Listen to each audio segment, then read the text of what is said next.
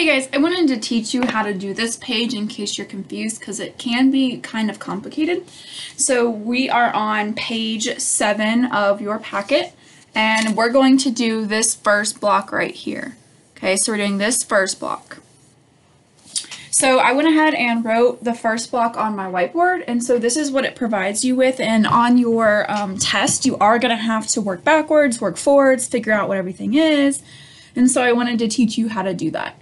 So um, in the first column, we have our tRNA. Okay, we don't have anything else, and we've got to figure out what's our mRNA, what's our DNA, what's the amino acid. So when you're doing something like this, you definitely have to have your codon chart ready. And your codon chart is on page four of your packet.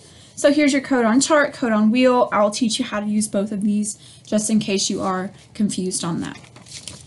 Okay, so tRNA has an anticodon, so this is the anticodon. Remember, the anticodon on tRNA binds with the codon on mRNA, so we know that they have to match. So therefore, we know our mRNA is G, G, G. Well, mRNA is made from the DNA, so they're going to pair as well. So we know DNA is C, because C pairs with G, C, C. Now, which one of these do we use to find the amino acid? Well, it's a codon chart. So you would use the mRNA because this is the codon. Okay, so here's your codon chart. Our codon is GGG, so this one's going to be pretty easy. So go to your codon chart. Your first base, you go to the left, it's one of these. First base is G, so it's somewhere in this row. Second base, you go up top. Second base is G. So where those intersect, it's somewhere in this box. Okay, somewhere in this box. Third base is G. So you know that this is glycine. Okay, so the first one is glycine, and you just write it using the first three letters to shorten it because you won't have enough room to write the whole amino acid. Okay, so that's the first column. Second column, we know that it's U something A and the amino acid is leucine. So we're going to have to work back using the codon chart. Okay, here's our codon chart. Where is leucine in here? We know that it starts with U, so the first base has to be U. And the only leucines you can get where the first base is U would be UUA and UUG. So we have U blank A, so we know it is U UA, and that would give you the amino acid leucine. Okay, mRNA binds with DNA or is created off of DNA, so they should match. So U stands for T because mRNA doesn't have thymine, it has uracil.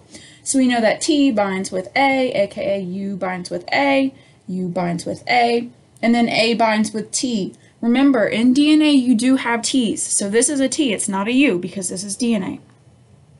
Then you go down to tRNA. tRNA has the anticodon, so whatever this is here should pair up with the mRNA codon. So U pairs with A, U pairs with A, and A pairs with T. However, this is RNA, so it's a U. Okay. Um, we have our DNA TTA. T pairs with A, T pairs with A, and A pairs with T. Or if it's RNA, U. Okay, then the mRNA codon will match with the tRNA codon, so we know that A pairs with U, A pairs with U, and U pairs with A. The amino acid, again, you have to use the mRNA codon to find the amino acid. So we're going to use AAU, and I'll do the codon wheel this time so you can know how to read both. Okay, you always start from the inside, work your way out, and our, amino, our, our codon is AAU. So our first base is A.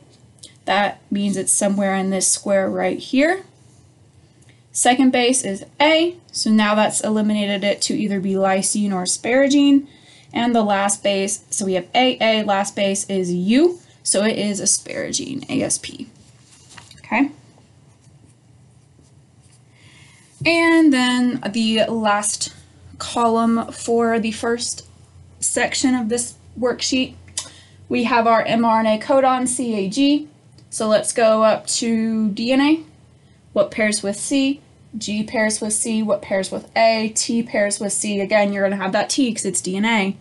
And then G pairs with C. And then we're going to work down to tRNA. So C pairs with G. A pairs with T or U, and since this is RNA, this is a U. And then G will pair with C. Okay, what's our amino acid? You always have to use the mRNA codon. So it is CAG is what we're going to use. So your first base is C, so it's somewhere in this column. Somewhere in this column. Second base is A, so C A, so it's somewhere in this box. Last base is U. It is histidine, which we're going to write H I S. Okay. So this is how you will fill in this worksheet in this chart. You just have to remember that DNA is going to complement the mRNA, and that happens in transcription. And then mRNA is going to have a codon that matches or pairs with the tRNA anticodon, and this part occurs in translation. So we have transcription going on and translation going on. So this is what's actually happening with your base pairs whenever you're making that mRNA or whenever you're trying to pair up that tRNA with the mRNA. Okay, have a good day. Miss you guys.